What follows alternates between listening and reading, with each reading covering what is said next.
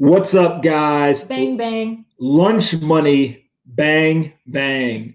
Well, Wall Street's trying to get rich. The rest of us just trying to get our lunch money right. Coming to you every day around noon, noonish. We're recording it at one o'clock, so kind of missed that bucket, but we'll get our shit together. I've got the beautiful Polina Marinova, or today known as Prisoner Polina, in her uh, incarceration outfit. Um, what do we got for topics coming out hot on a Monday?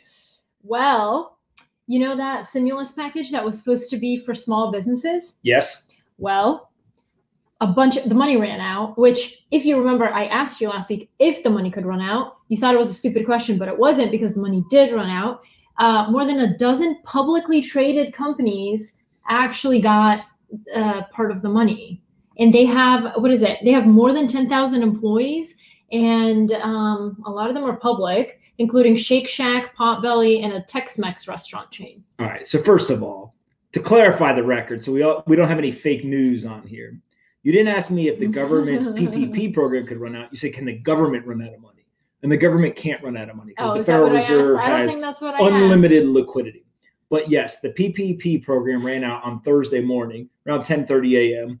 Uh, less than two weeks after they started, 350 billion dollars. It was soaked up by uh, all these businesses. Only th- estimations are three to five percent of applications were accepted, and then they ran out of money. So that means that there's somewhere around 95 percent of small businesses that want access to the money. How are you Uh, defining small businesses? Because obviously, they the way they they define small businesses didn't quite work out. Well, again, small businesses is what it's intended for that still want access to capital. Part of the issue is that they have a distribution problem, meaning that the way that they're determining who gets the money and who doesn't was just first come, first served. So if you're a local small business and the rules came out on Thursday night of the week prior, well, of course, by the time you get your application in, these large corporations with big uh, finance teams and lawyers and accountants and all this stuff, they'd already gotten their applications in. And so here's the really, really sad part. One, there's a lot of people who don't deserve to get this money or don't need the money who are getting the money. And then, two, on top of that, what's even worse is that the people who are getting the money are taking the money from somebody else. So it's Right. bad enough that they get it. It's even worse that if you take it from somebody else. Right. And so now we've got Main Street businesses that are not getting the help they need, but people like Shake Shack. Shake Shack is incredible. I love Shake Shack. I'm a big Shake Shack fan. Think Danny Meyer's a genius, all this stuff. Shake Shack's a $1.6 billion market cap company that's publicly traded. They did over $400 million in revenue last year. They took $10 million in the PPP program. That $10 million got taken from a bunch of small businesses that didn't get access to it. A second data point what do you think is the number one geographic region on a per dollar basis For what? that received PPP loans? The Northeast. No. Washington, D.C. I saw a stat today. Washington, D.C. based businesses on average received over $300,000. The rest or the average across the country is over 200,000. So they, they disproportionately are getting more of the money. Seems pretty interesting. Why would people who operate in the backyard of politicians be getting more money than others? I don't know. I'm just here to ask the questions. You guys go find the answers. Any last thoughts on big businesses? Uh, well, Shake Shack actually gave back the $10 million loan it received. I feel like that's an important thing to say. They they did, But but why they- but why are they getting congratulated? No, that they shouldn't be. Uh, my question is, why did they even get it in the first place? Well, because it, when there's free money available, nobody's a capitalist. They all they literally all become socialists. Oh, you're gonna give me free money? Sure, I'll take the free money. Well, it's a loan. It it's a loan that doesn't have to be repaid. If you keep your people on for a certain number of time. So here's what's gonna end up being. Here's what's gonna be really really sad is that they're all gonna keep their employees until like September or October. Then they're gonna fire them if this continues, right? And then that brings me one last thing. Uh, big big business. We'll include this in here. Disney. Disney has lost their minds. Bob Iger should be ashamed of himself. Hold on, hold on. Bob Iger or Bob C? No, Bob Iger. Because Bob Iger went on for the last year and a half, went on this freaking uh, back patting tour saying how great a leadership and all this nonsense. But when push came to shove, here's what Disney's doing. Disney announced over the weekend they're going to fire 100,000 employees. Those 100,000 employees, by getting rid of them, they will save $500 million a month. That $500 million a month normally would just sound like, oh, look, they're not their uh, amusement parks aren't open, etc. Revenues down. Of course, they can't sustain themselves. But then it came out that they're still prepared to give their executives their bonus plans. So the executives aren't giving up compensation, but they are firing people. And then on top of that, they have $1.5 billion dividend that they're expected to pay over the summer to shareholders. They're still going to pay that. And recently they went out and secured over $20 billion in lines of credit that they could draw on. So if they didn't pay their dividend, they cut their executive bonus plan, and they pulled on that um, $20 billion of line of credit, they would be able to sustain themselves for a year still paying all of those employees. They would have to lose a single employee. But you don't know the inner workings of Disney. Like maybe there was a reason they did that and not of course something else. Because they believe that the government's going to take care of it. They're offloading their responsibility onto the American taxpayer. Why should we have to pay for Disney when Disney has the money to pay their employees? Right. I don't know. Lots of people will disagree, but I'm just saying, I think, again, it is their right. This is really important. It's their right to do this because we are a capitalistic society. I'm not arguing that uh, there should be any change to their right. What I'm saying is it's bad leadership. Uh, the right leader would say, we're going to do whatever it takes to take care of our employees. We're going to keep our employees on Maybe. payroll, and we're going to make sure that we all get through this together because we believe if you're a Disney employee, you're a part of the Disney family, and family takes care of family. Have you considered that maybe Bob C wanted to do that, but then Bob I, the executive chairman, came in and said, "No, no, no." Are, are you a, a Bob C fan? I'm a Bob C fan. Okay, what's the next thing? okay. Neiman Marcus. Neiman Marcus. Is Neiman Marcus a person? No, it's a group. Okay, go ahead. Uh, Neiman Marcus is preparing to seek bankruptcy protection as soon as this week. So you already, so basically, they had a bunch of debt and they uh, defaulted. Yeah, classic example if you get over leveraged, if you don't have discipline, you end up getting screwed in bad times. Neiman Marcus in 2013, I believe, uh, they were part of a six billion dollar leverage buyout by How Ares. Do you know this because I'm smart uh, and I read the internet. Uh, because Ares and another group uh, did a six billion dollar leverage buyout. There's about 4.8 billion dollars worth of debt uh, oh still oh on the he's company. Right, it's 4.8 billion. hey Joe, make sure we cut that clip. He's right. We'll just keep playing that on a loop. I just, you, I know you didn't read this stuff beforehand, so how could you possibly know the exact numbers? Because I read the internet and I have a good memory. Uh, and so, on top of all of that, they're going to have to file for bankruptcy. But my favorite part about the Neiman Marcus story is they have so much debt, about $4.8 billion, that they're actually negotiating with their creditors right now to get a loan so that they have enough capital on their balance sheet to make it through bankruptcy. This essentially, for those that don't understand what's happening, it's like saying, I'm in so much debt that I need money, so I'm going to take out more debt on top of it. Absolutely sounds like insanity. a bad idea. But again, all we're seeing is the virus is having an impact on retail stores, and then you overlay that with the macro trends well, of e-commerce. And, and I feel like uh, retail stores, especially the ones with physical locations, where that was the primary driver of revenue, really struggling right now because there's zero foot traffic. They were struggling before, but now it's like. When was the last time you went to a store and bought something? Like inside of a physical store? Yeah. Well, not recently because I did rent the runway. Because you were in prison. No. I was on probation. Um, so I did rent the runway because they deliver to your home and you don't have to go out and look at stuff in stores. Did you get that off rent the runway? No, because I had to pause rent the runway because I'm not going anywhere. Or is that now, from the New York Department of Corrections? Okay, let's. Oh, speaking of corrections, let's talk about drugs. okay, I can't deal with this today. Okay, um, Gilead. I had to look up how to pronounce it before this, but Gilead has a drug that's looking promising. It's called, I don't know how to pronounce that. Remdesivir. Remdesivir. Rem, yeah. They had a cl- clinical tri- trial and they're seeing rapid recoveries in fever and respiratory systems for people with COVID.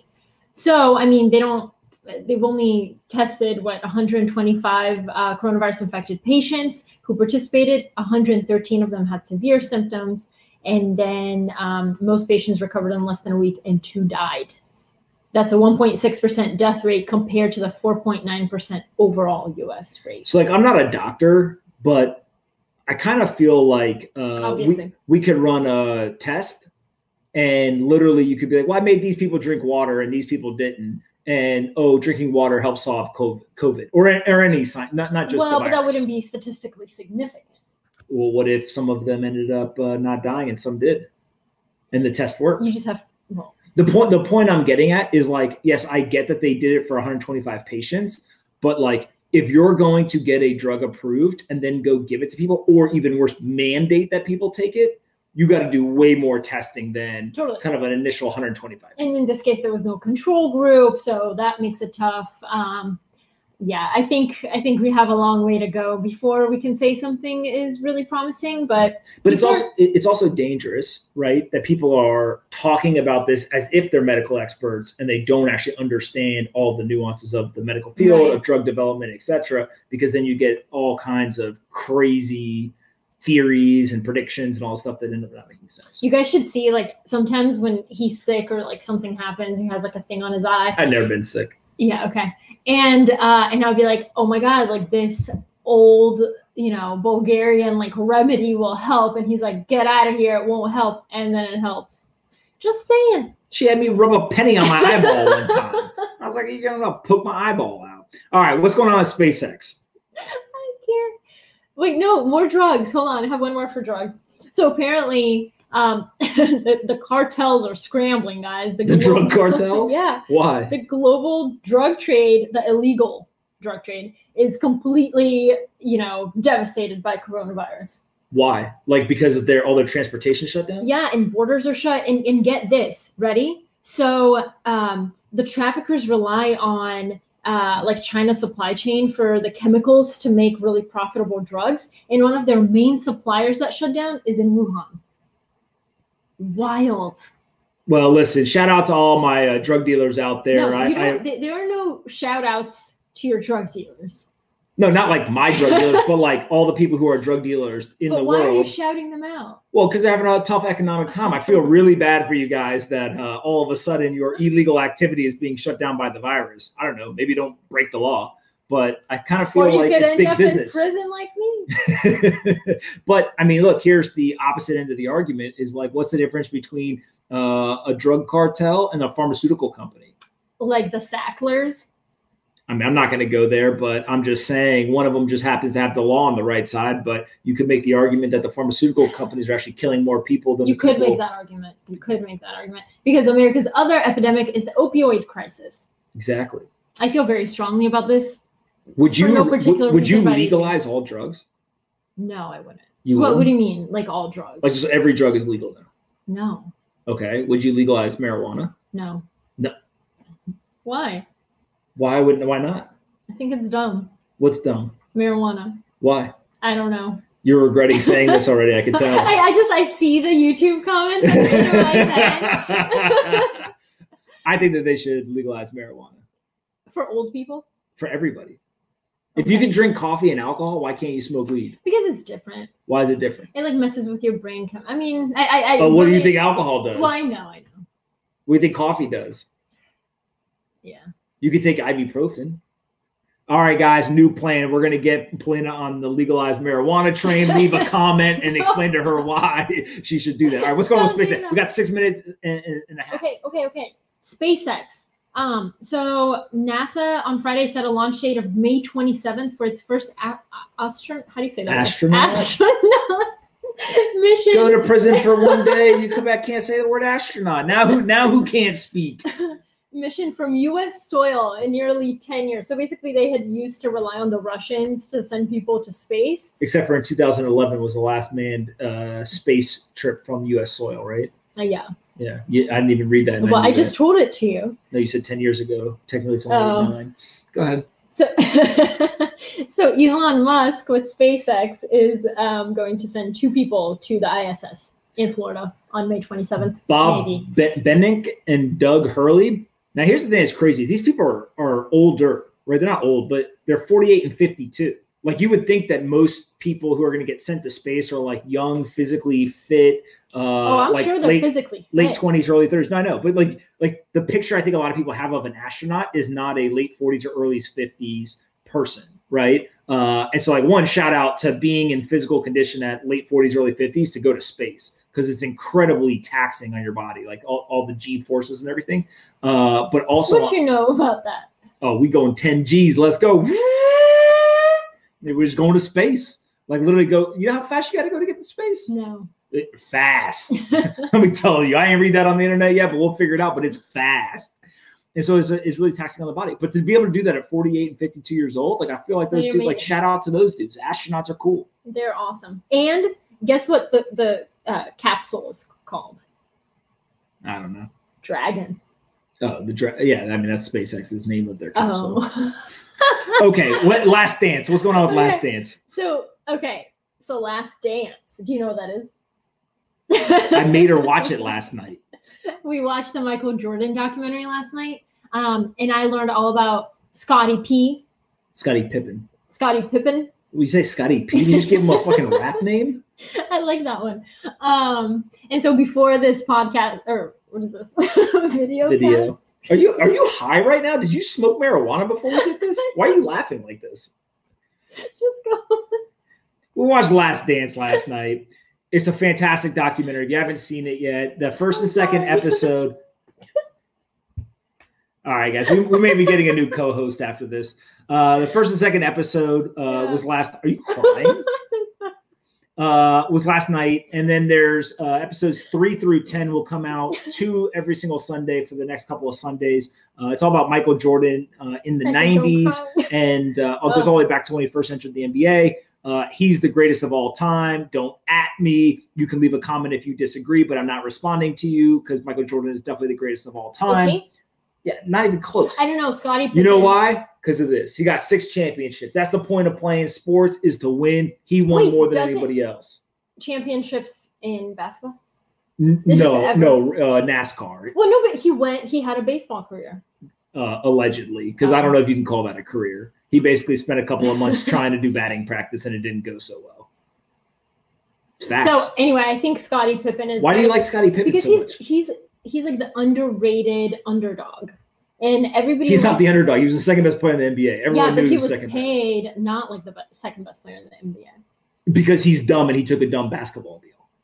He signed a deal for seven years at, in 1990 and agreed to only for 18 I million bucks. I'm laughing. And he should have gotten paid more money, uh, but he signed a long term deal. And also, they told him not to sign it, even though own, his own ownership was like, "Hey, don't sign that deal," but he signed it anyways. But can't you just re- renegotiate later? If the owner will agree to it, but the owner said no. Oh wow.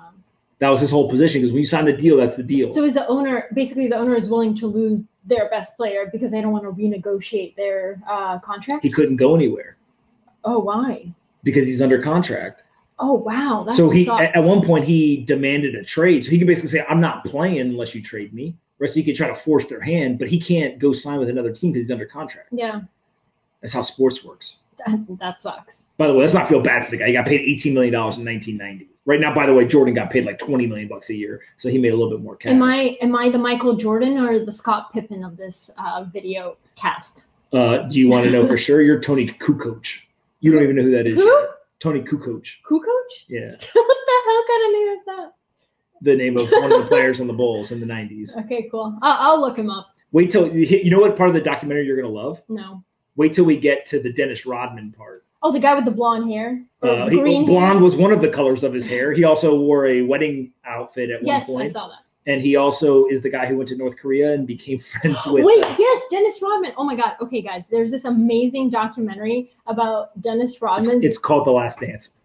no, Dennis Rodman's friendship with um King Kim Kim, Jong Jong-un. Yes, and they play basketball together. He's basically like promoting world peace through basketball and friendship because he's kind to his friends.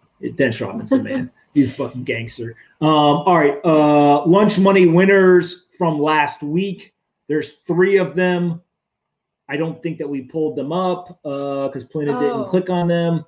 Uh, give us two seconds. We don't have our shit together right now. Hold on a second. It, it- no, the email is the lunch money winners. So right where it says lunch money winners, those are the ones I picked. Okay. I picked this week. No, I picked one. You picked one. You did. Uh, so the first one is Nolan Royale. Uh, the second one, Is um. Wow, we today was a rough day, guys. I'm so sorry. Polina, what are you doing? I don't you, know. You're, you're just clicking around. This one's my uh, a great one. Uh, this is Cameron Archibald. Uh, won one of the subscriptions, and his Twitter handle is at I'm the Tool. I M T H E T O O L. So go check him out. What's the third one? Hurry up. okay. Uh, this one I can't really pronounce. Wait, so it's at F C L R L Y. G P H T I C. We've DM'd you. Respond. Give us your email. We'll get you the free subscriptions to all three of you. I don't know why we picked three. We said we were only going to pick two, but we felt like being kind. We are now out of time because you had a laughing attack. I think so I think that you got I high during the middle of the episode and laughed so I- hard I drink coffee. Maybe that's what it was. that makes you laugh. All right, you need to go back to prison. Uh, do you have any last words before we end? I don't, but be well, be kind to your friends. That's it. Yeah. All right, guys. Listen, we appreciate it. Lunch money while Wall Street's trying to get rich. The rest of us just trying to get our lunch money right. Tomorrow we will come to you earlier, hopefully before noon, and maybe we will get a different co-host who doesn't erupt in laughter in the middle of the episode. So thanks so much for watching. We really appreciate it, and we will talk to you guys tomorrow.